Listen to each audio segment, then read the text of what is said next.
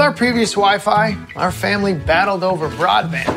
But now that we have managed Wi-Fi 6 with the GigaSpire Blast, our connection is great, whether I'm inside the house or outside. I love my new house, my cave.